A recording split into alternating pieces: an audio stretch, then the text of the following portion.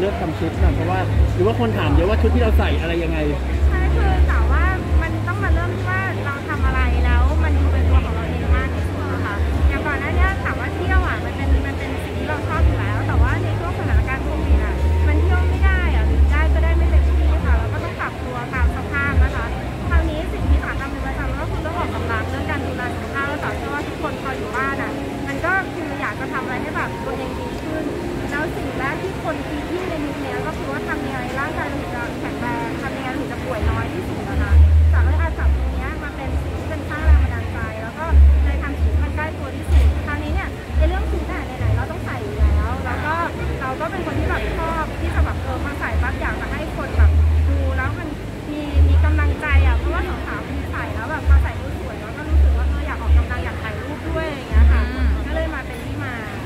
แต่ชุดเราอู้หูเยอะหลายชุดเลยนะ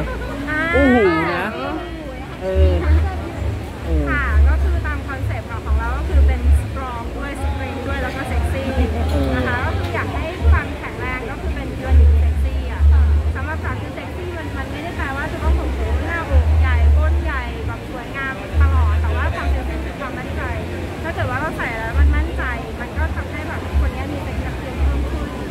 อกออกก็คือใส่ในกระหลังเพื่อสุขภาพไม่ได้โดนบริษัทหรืออะไร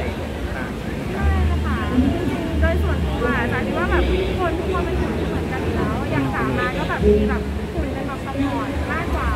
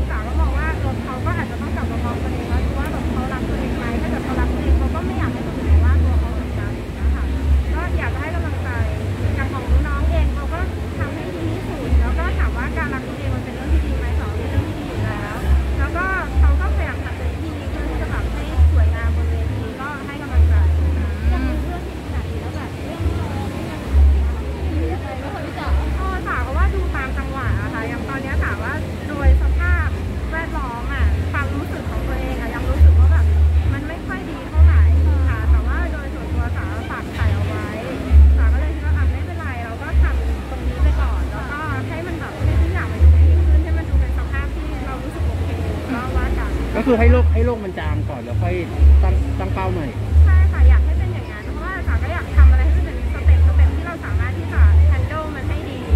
จ๋าไม่อยากกังวลหน้ากังวลหลังหลายๆอย่างพร้อมๆกันนะคะอย่างแม้เราจะฝากไข่ไปแล้วเราตั้งเป้าไว้ว่าต้องอายุประมาณเท่าไหร่มันถึงจะพร้อมที่สมบูรณ์ เจ็ดสิบแล้วกันค่ะอ๋อโอ้ยเธอวิ่งตามลูกทันเหรอ เรื่องมันประมาณอีกสักกี่ปีอะไรอย่างเงี้ยพี่จริงๆเอ่อยังไม่ได้คิดแบบเป็นไม่กล้าบอกว่าแบบเฮ้ย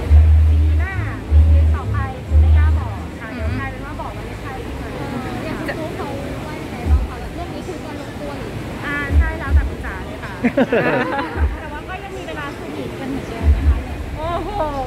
เอาเป็นว่าไม่เจอกันวันไหนดีกว่าไม่เพราะหลายคนสงสัยกันว่าในไอจีเราไม่ค่อยลงรูปคู่ ไม่มีภาพประกอบไม่รู้จะเขียนยังไง